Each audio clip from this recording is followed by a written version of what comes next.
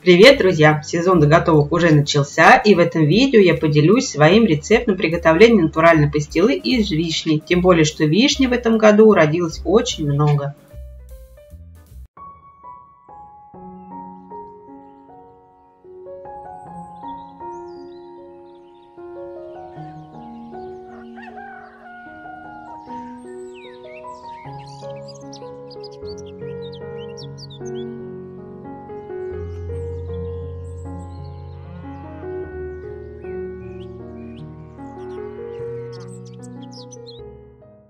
Вишню необходимо хорошо помыть и удалить косточки. Делать это можно любым удобным для вас способом. А я удалять косточки буду при помощи вот такого всем известного приспособления из нашего советского прошлого. Вишня у меня довольно крупная и очень вкусная, с виду даже больше похожа на черешню.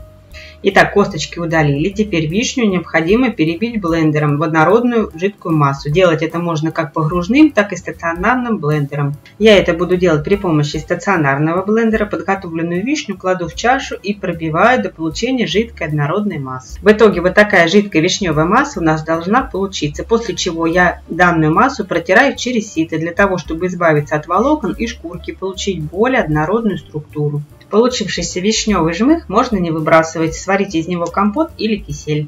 В итоге должна получиться вот такая абсолютно жидкая вишня без всяких вкраплений. Поддон для пастилы я хорошо смазываю кусочком обыкновенного сала. Делается это для того, чтобы пастила после сушки не прилипла. Также можно смазать поддоны небольшим количеством растительного масла, но помните, что масло в процессе хранения прогоркает, и пастила может получить неприятный запах или даже вкус. Когда поддон хорошо смазан, вливаем подготовленную вишню и равномерно распределяем его по всей поверхности. Слой вишни должен быть равномерным. Я буду сушить пастилу своей незаменимой помощницей на кухне сушилки фирмы Китвер. Преимущество данной модели в том, что она имеет в комплекте поддоны для сушки пастилы, которые имеют бортики, поэтому моя пастила всегда сохнет равномерно. Если вы будете сушить пастилу на противне в духовке, то следите за тем, чтобы слой был равномерным. Тогда и ваша пастила высохнет ровно. После того, как заполнили поддон или противень, слегка потрясите его для того, чтобы вышел лишний воздух. После чего отправляем поддоны в сушилку, ставим температуру 40 градусов и время выставляем с запасом.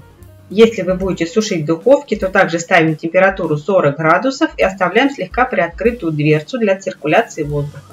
Итак, моя пастила полностью готова. Сушилась она ровно 24 часа.